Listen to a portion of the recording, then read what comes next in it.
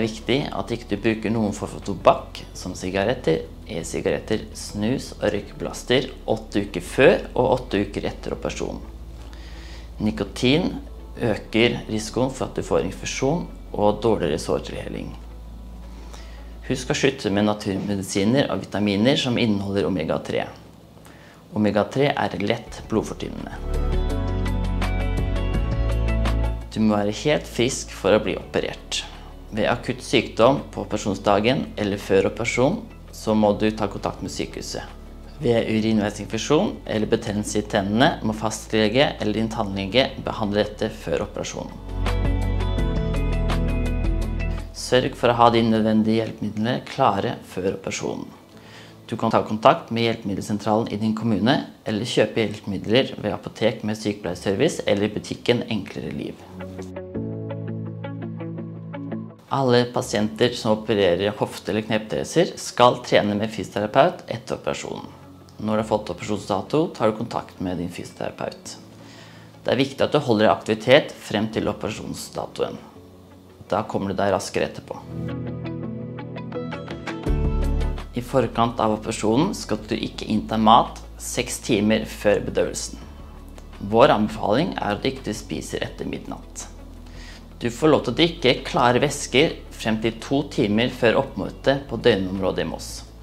Dette gjelder kun vann og saft, gjerne sukkerholdig saft. Tyggegummi og drops skal ikke brukes to timer før anestesi. Ved bruk av tyggegummi og drops på operasjonsdagen må ikke disse svelges. Tabletter som avtales med anestesi om å ta hjemme på operasjonsdagen, kan svelges med ett glass vann to timer før oppmøtet. Ta av smykke, giftering og klokke. Fjern eventuelt sminke og neglelakk. Finn frem rene håndklær og eventuelle nattøy. Dusj med hibiskubb er det siste du gjør før du legger deg. Dusj hele kroppen og skru av vannet. Fyll hånden med hibelskrubb, vask håret. Unngå å få såpen i øynene eller inni øret. Såp inn hele kroppen. Vask fra toppen og nedover. Vask spesielt nøye rundt nese, munn, navl, armhule, lyske, kjønnsorganer og hoften eller kneet du skal operere. La såpen virke i to minutter. Skyll nøye. Gjenta prosessen en gang til Tørk dem med et rent håndkle. Tørk fra toppen og nedover. Føttene helt til slutt. Ta på deg rent nattøy og legg deg i rent sengetøy. Neste morgen skal du dusje igjen med hipskrubb. Da trenger du ikke å vaske håret, og det holder å dusje med såpen én gang. Ta på deg rene klær.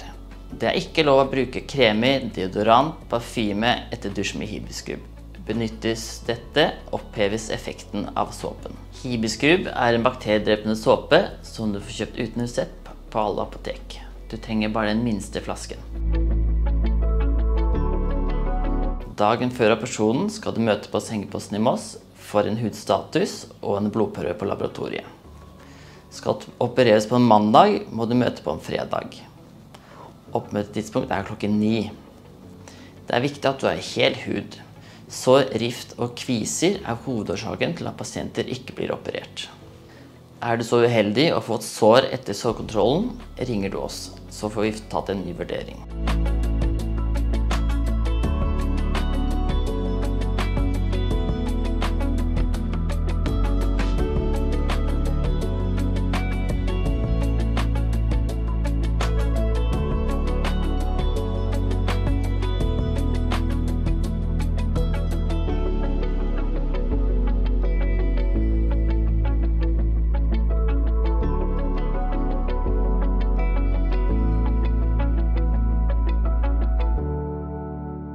Hofteleddet består av en leddskål oppi bekkenet og kula øverst på lårbeinet, som passer sammen. Eh, etter hvert når det blir økende slitasje i leddet, så slites brusken eh, som kler knoklene gradvis bort, og det blir mer og mer slitasjeforandringer. Det kan skyldes eh, alder, arv, medfødte feil, tidligere skader, overvekt og mange andre faktorer. Og da bytter vi da ut de slitte eh, områdene og setter inn en hofteprotese som ser sånn ut. Så den havner ned i lårbeinet med en kule på toppen. Og det her sitter oppi bekkenet og så får man et mekanisk proteseledd. Kneleddet består av eh, lårbeinet og eh, skinnebeinet som danner leddflate sammen. Når det blir mer og mer slitasje i kneleddet, så kan man være i behov av en protese etter hvert. Eh, Slitasjen kan skyldes alder, arv, tidligere skader, eh, annen kirurgi tidligere og flere andre faktorer. Eh, Og da slites brusken mer og mer bort på leddflatene, og til slutt så kan man være i behov av protese. Da sager vi vekk de slitte leddflatene, og så vi, erstatter vi dem med kneprotese. Og det fins helprotese som ser sånn ut. Her er lårbeinet. Sitter en metalldel på lårbeinet der. En eh, kunstigaktig menisk i midten og metall eh, ned på skinnebeinet. Og hvis det er slitasje bare på ene delen av leddet, kan man sette en halvprotese som ser ca. sånn ut. Så denne sitter oppå lårbeinet, en kunstig menisk i midten, og den på skinnebeinet. Hei! Sindre heter jeg. Jeg er sykepleier her på Sengeposten. Kom, så skal jeg vise deg rommet ditt. Ja, takk. Her er rommet ditt, Heidi. Ja. Når spiste du sist? Klokka åtte i går kveld. Har du drukket noe i dag? Jeg har tatt meg et glass eh, vann med litt sukkerholdig saft. Ja. eh, Rundt klokka fem når jeg sto opp for å dusje i dag. Har du tatt, også tatt noen medisiner? Ikke tatt noen medisiner. Nei. Og du har dusjet med hibiskrub? To runder i går kveld og én runde nå på morgenen. Ja, veldig bra. Du skal få lov til å skifte. Da tar du av deg alle klærne dine. Ta på deg disse her. Du får ikke lov til å ha med deg noen personlige eiendeler ned på operasjonsstua. Så alt det låser inn i skapet her etterpå når du kjøres ned. Eh, Og så skal du også få på deg et varmeteppe. Det er fordi det er litt kaldere nede på operasjonsstua. Det er viktig at du er godt sirkulert hele tiden. Og så er det et ledd i å forebygge infeksjon. Ja. Så mens du skifter nå, så går jeg bare og henter litt medisiner til deg. Hei, hei. Hei, Marianne Nyans heter jeg. Det er jeg som skal operere deg. Heidi. Hei, koselig. Hyggelig. Er du klar? Jeg er klar. Mm. Er det noen spørsmål du brenner inne med som en ting du har lurt på? Nei, jeg føler meg veldig godt informert. Så bra. Og da er det det siste som gjenstår, det viktigste. Hvilken side skal vi operere? Høyre kne. Høyre kne. Denne. Ja. Har du noe sår? Ingen sår. Du Har vært frisk i det siste? Ja. Kjempefint. Da setter vi smilefjes, da. Da er jeg klar. Da er du klar. Ja. Med krusedull på toppen. Sånn, og en pil der. Alle du treffer i løpet av dagen skal si at vi opererer rett side. Og det var ikke noe sår på beinet, ikke noe ned på tærne heller. Ingen sår noe sted. Kjempebra. Ok, da ses vi der nede. Det gjør vi. Lykke til, da. Takk. Ha det. Ha det. Så bra. Da har du fått skifte, Heidi. Da er jeg i sykehusdør.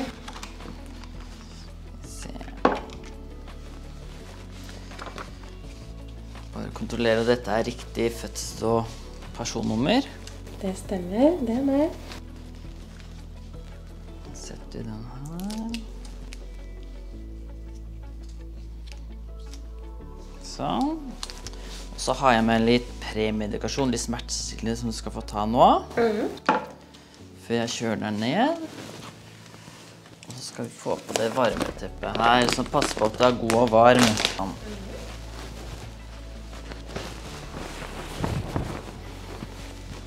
Den blir gradvis varm.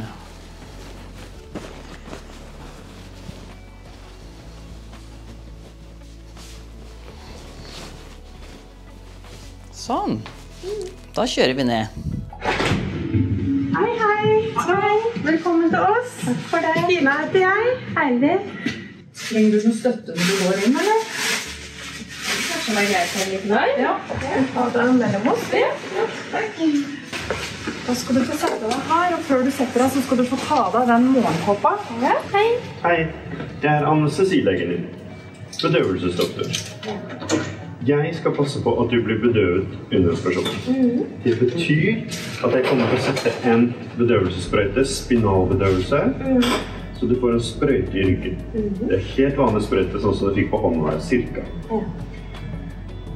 Ganske fort etter den jeg setter den sprøyta, så blir du helt bedøvet fra navlen og ned, så begge bena blir helt slappe. Og det kommer det til å være i tre-fire timer cirka. Etter at du har fått den bedøvelsen, så kommer vi til å sette et urinkateter. For da kan du ikke helt kontrollere urinen din. Og så til slutt så kommer jeg til å sette en bedøvelse rundt kneet som skal opereres. Det kommer du ikke til å kjenne heller, for da er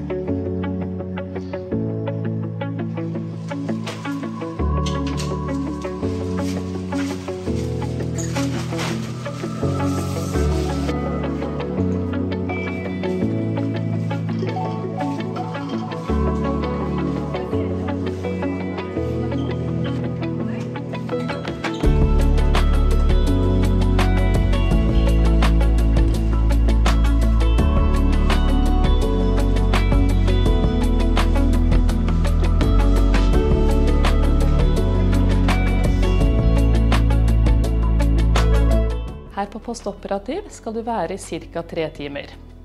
Du vil få litt medisiner og vil også tilby deg noe å drikke. Vi skal også hjelpe deg til å komme opp av sengen. Hei, Heidi. Hei. Nå er tiden inne for at du skal opp og stå i prekestol. Da skal jeg bare koble fra litt utstyr aller først. Så tar jeg bort den. Så tar vi den der.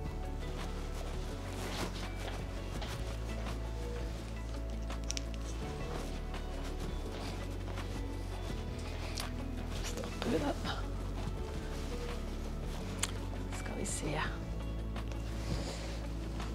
Har vi bare bort alt dette her.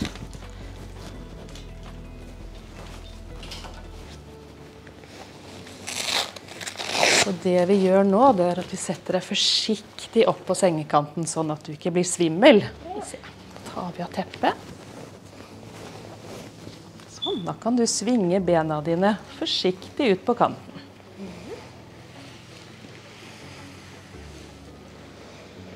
Der, ja. Det går fint. Sånn, så setter jeg litt nærmere kanten. Der, så sitter du der.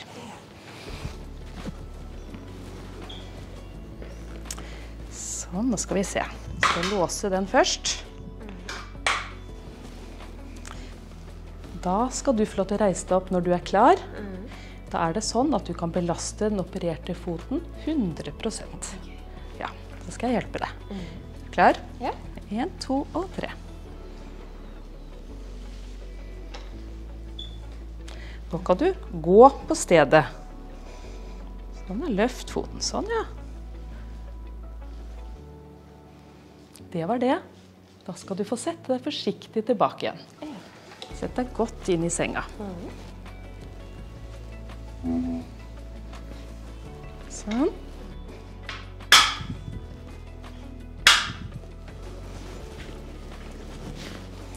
Og da skal du få lov til å legge deg tilbake igjen. Så skal jeg ta av deg disse her.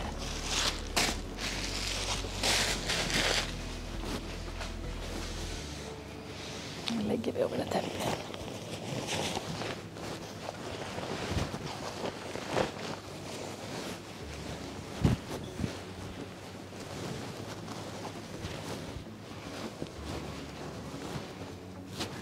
Sånn. Det var det. Etter operasjon så er det tre øvelser som er greit å komme i gang med, som du skal gjøre i seng. Eh, Og da skal du gjøre ca. ti repetisjoner på hver av disse tre øvelsene. Så det første er at du skal prøve å bevege anklene dine opp og ned med så store vippebevegelser du får til. Opp og ned ca. ti ganger. Flott. Det neste er at du skal prøve å stramme både lår og sete ved at du skviser rumpe og lår sammen og slapper av. Ca. ti ganger der også. Så kjenn at du strammer lårene og slapper av. Og strammer og slapper av. Den siste øvelsen er at du skal prøve å løfte opp det opererte beinet ved at du trekker hælen langs underlaget. Trekker kneet mot deg. Flott, og så rolig tilbake. Trekker kneet mot deg. Og rolig tilbake. Disse tre øvelsene er det fint å bare begynne å øve på hjemme nå allerede før operasjon, sånn at de går automatisk når du våkner etter operasjon. Da skal jeg vise dere hvordan man kan gå, gå med krykker. Så skal man ta en krykke i hver hånd. Så skal du få lov til å starte med å sette krykkene litt foran deg. Få det opererte beinet mellom krykkene og friske beinet litt forbi. Krykker fram, operert bein mellom krykkene, frisk litt forbi. krykker, operert og frisk ben. Når trappa har gelender, så ønsker vi å bruke det. Så tar vi tak i gelenderet og tar den løse krykka på yttersiden av den andre hånda. Så skal vi starte med å sette krykka ned, det opererte beinet ditt ned, og så stødig før du tar det friske. Krykke først, operert ben, og så det friske. Krykke, operert og friskt. Fortsetter bare sånn nedover.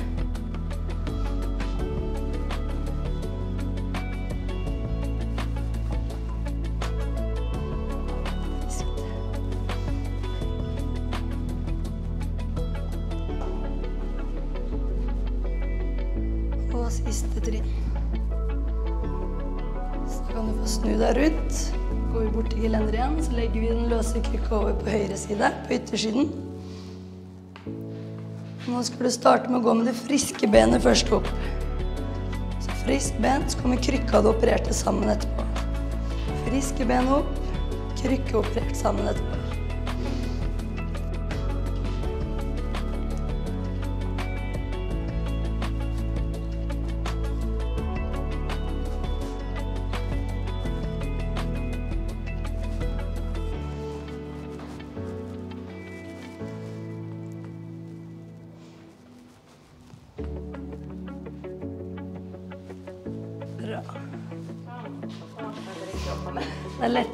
Er operert.